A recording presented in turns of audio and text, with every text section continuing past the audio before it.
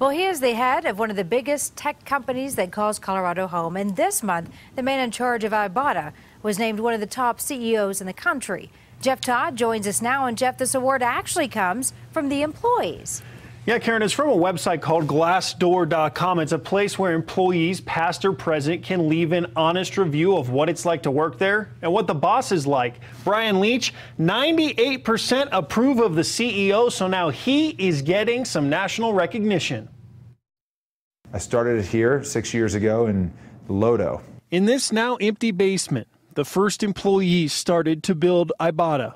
Ibotta is a free shopping app that pays you cash rewards for shopping anywhere you would like to. It now has more than 500 employees. We're capitalizing on all those people that want to move to Colorado, and we're the only major mobile app company in Colorado. He says Colorado simply isn't producing enough software engineers or analysts for a company that's hiring hundreds of people a year the fact is that talent demands. I mean, we've grown from zero employees to well over 500 employees in a very short period of time, but we're looking for very specialized skill sets. And then down below, we have another 36,000 feet.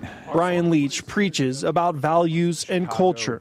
He found out last week he was the 10th ranked CEO on Glassdoor.com. Being a CEO is all about creating culture uh, and conditions where other people can step up and solve problems for themselves. He says coaching and open dialogue have helped him and the company thrive. You have to create a safe space for disagreements, for different points of view. You don't want to chill those ideas.